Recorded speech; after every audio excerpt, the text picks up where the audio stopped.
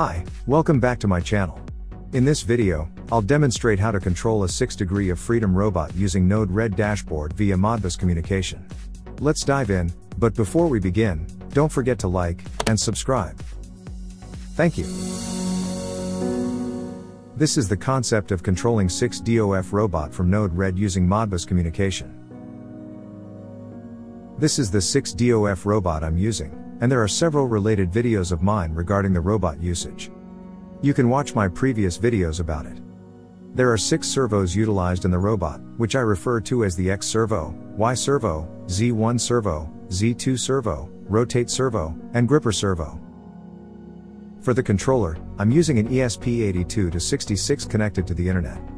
Additionally, the ESP82 is connected to the PCA9685 as a servo controller to control the servos, eliminating the need for many GPIO pins.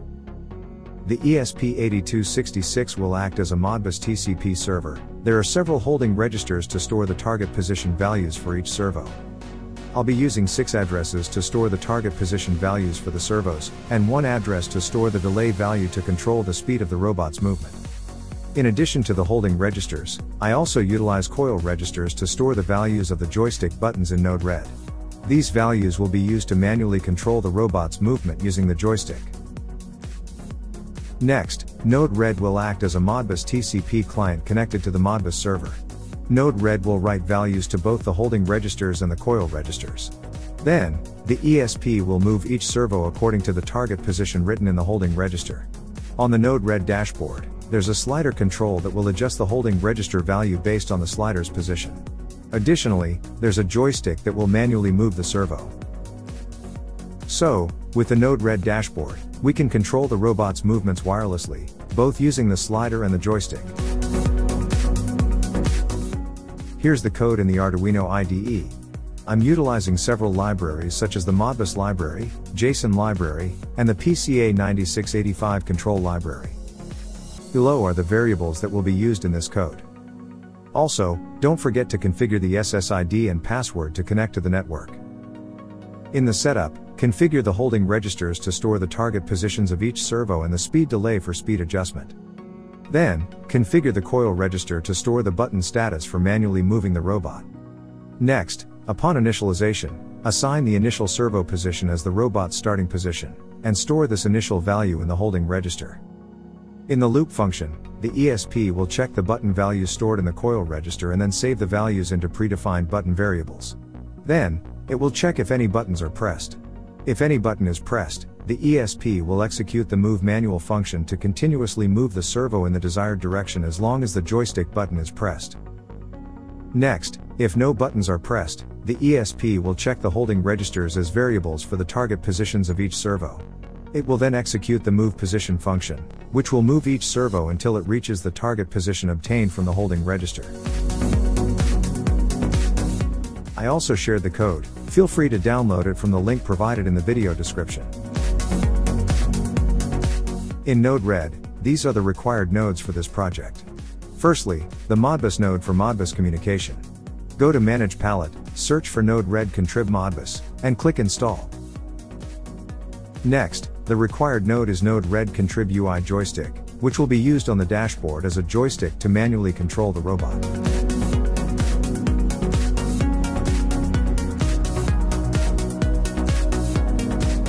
Here's the flow code for Node-RED used in the project.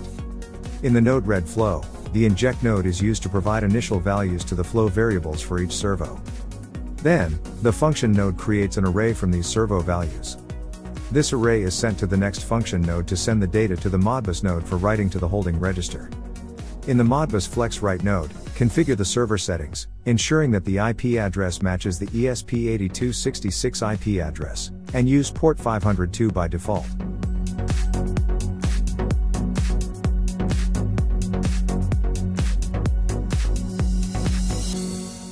Next, connect to a change node to provide initial values for the servo positions to each slider node.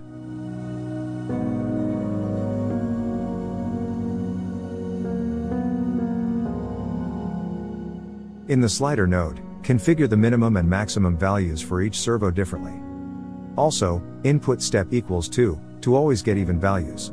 Whenever there is a change in the slider node value, its payload will be sent to the change node to update the flow variable for the servo value. Additionally, the payload will be sent to the Modbus write node to write to the holding register according to the servo address.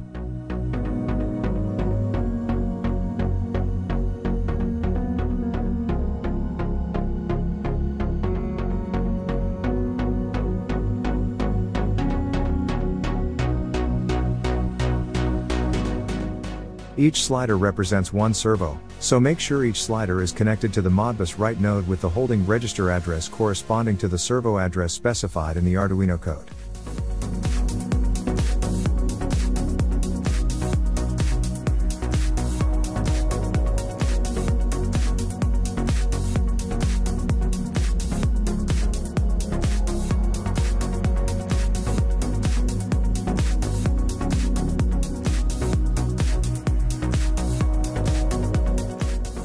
At the bottom is the joystick node that will be displayed on the dashboard.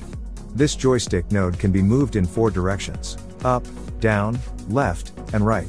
For each direction, I will correspond it with a button value to move the servo by writing to the coil register. When the joystick is directed, I'll assign a value of true to the coil register, indicating that the button is pressed. When the joystick is in the center position, I'll write a value of false to the coil register, indicating that the button is released. For more detailed information, please try the Node Red flow used in this project yourself. You can download it from the link provided in the video description.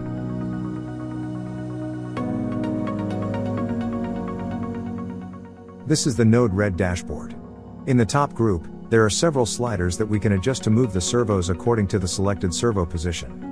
Each slider is used to control one servo.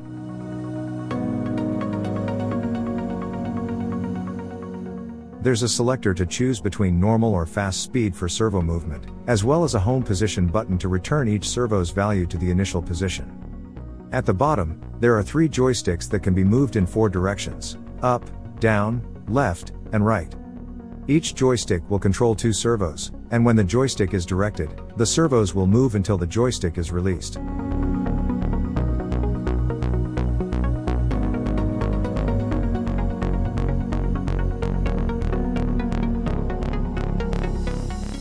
Let's see how this Node Red dashboard controls the robot. I'm using a tablet to access the Node Red dashboard, connected to the same network as the ESP8266. We can observe the responsiveness of the robot's movements as we adjust the slider values. If the movement speed is too fast, we can deactivate the fast speed selector. Additionally, we can use the joysticks at the bottom to gradually move the servos in the direction of the joystick until it's released.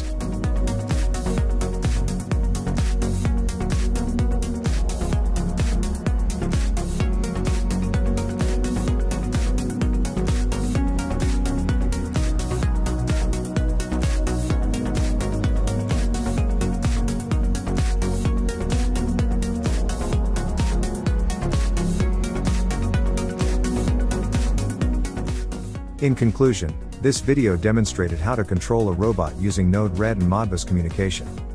We learned how to adjust servo positions using sliders on the Node Red dashboard, and how to toggle between normal and fast speed settings. The joystick controls provided intuitive manual control over the robot's movements. Overall, this setup offers a versatile and user-friendly way to interact with and control the robot remotely. Don't forget to like and subscribe this channel. See you in the next video.